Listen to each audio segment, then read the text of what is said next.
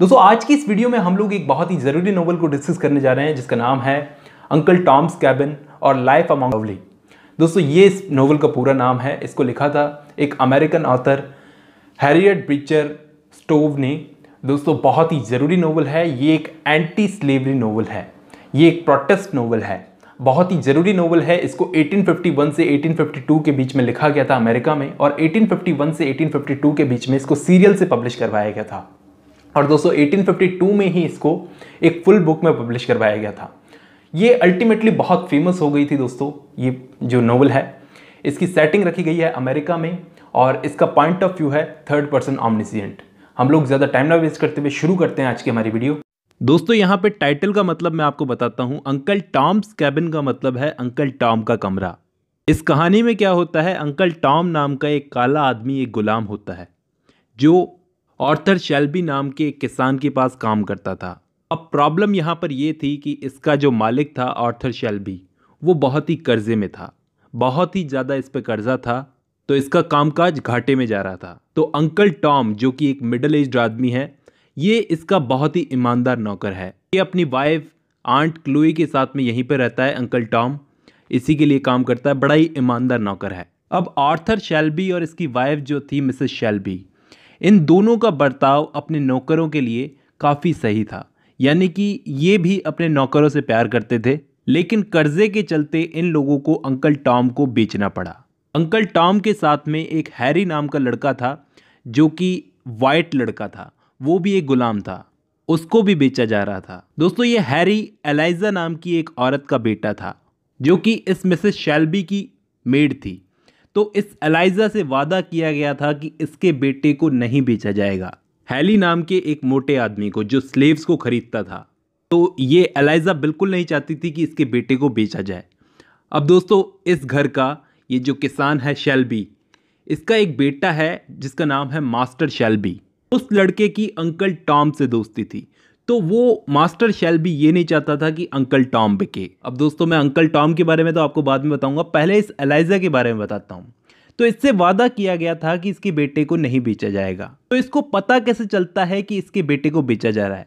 दरअसल ये मिस्टर और मिसेस शेल्बी की बात सुन लेती है जब वो लड़ रहे होते हैं। मिसेस शेल्बी बोलती है कि मैंने अपनी मेड से वादा किया है कि मैं उसके बेटे को बिकने नहीं दूँगी। तो ये अलाइजा सुन लेती है कि ये लोग मेरे बेटे को बेचने की सोच रहे हैं। तो ये अलाइजा यहाँ पर ये तय कर लेती है कि ये अपने बेटे हैरी को लेकर यहाँ से भाग जाएगी। कुछ सालों पहले इस अलाइजा का एक हस्बैंड था जॉर्ज नाम का।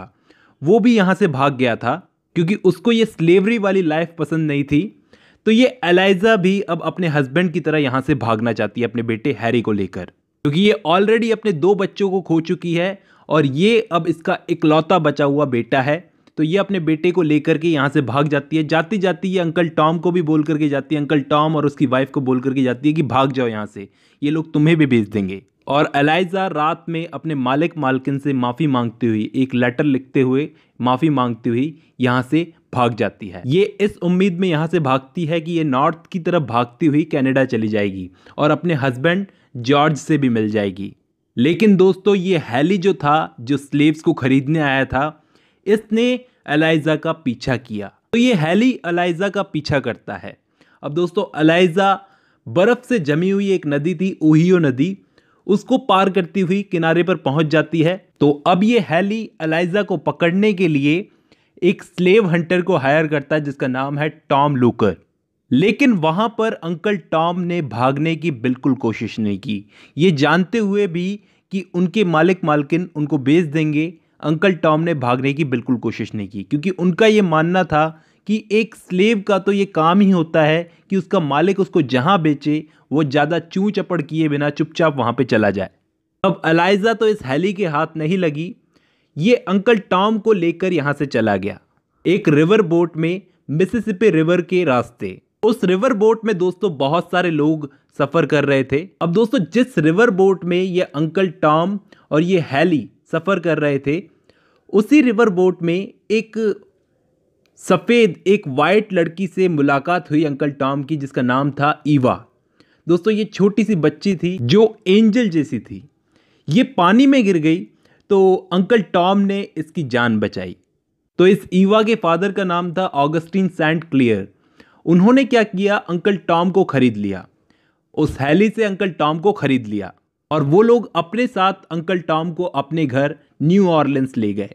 अब इसके बाद दोस्तों ये टॉम और ईवा, ये दोनों अपनी ग्रेट क्रिश्चियन फेथ्स की वजह से एक दूसरे के पक्के दोस्त बन गए। ईवा को भी टॉम के साथ रहकर क्रिश्चियनिटी समझ में आने लगी थी, वो भी बिलीव करने लगी थी क्रिश्चियनिटी पे। वहाँ दोस्तों मैंने आपको बताया कि एलाइजा अपने बेटे को लेकर भागी थी तो एक क्वेकर फैमिली ने इसकी मदद की और ये एलाइजा वहाँ पर अपने हस्बैंड जॉर्ज से भी मिली। हालाँकि इन दोनों को यहाँ पर टॉम लूकर ने पकड़ लिया। ये जो स्लेव हंटर था, ये हायर किया हुआ स्लेव हंटर टॉम लूकर, इसने पकड़ लिया इन दोनों को हस्बैंड वाइफ को। उसके साथ में उसके साथी भी थे। तो उसने इस पूरी फैमिली को पकड़ लिया।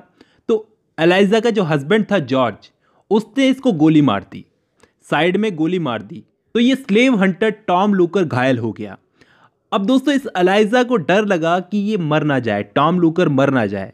इसने अपने हस्बैंड जॉर्ज को और उस क्वेकर फैमिली को कहा कि इसको ले चलो। इलाज के लिए ले चलो इसको।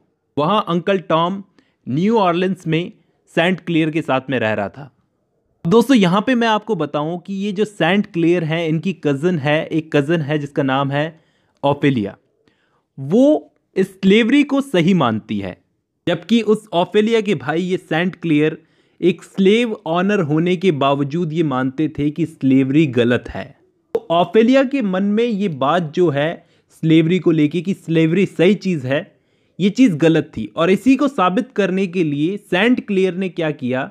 एक टॉपसी नाम की काली लड़की को खरीदा, जो कि एक छोटी लड़की थी, जिसका मास्टर पहले बहुत ही अब्यूसिव था, उस पर बहुत जुल्म करता था। तो उसको कहा, अपनी बहन ओफेलिया को कहा कि तुम इसको एजुकेट करो और फिर देखते हैं कि तुम सही हो कि मैं।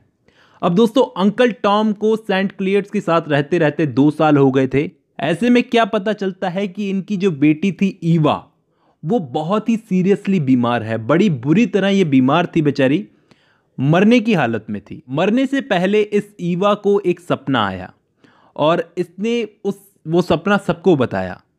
दोस्तों, ये ईवा तो मर गई, लेकिन जाती जाती ये सबको चेंज कर गई। ऑफेलिया ने कसम खाई कि ये कभी भी काले लोगों से भेदभाव नहीं करेगी।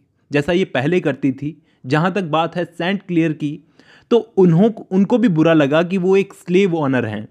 तो इन्होंने टॉम से वादा किया कि ये उसको फ्री कर देंगे, अंकल टॉम को फ्री कर देंगे। लेकिन यहाँ पर एक प्रॉब्लम हो गई दोस्तों। सेंट क्लियर टॉम को फ्री करते, इससे पहले ही उनका मर्डर हो गया।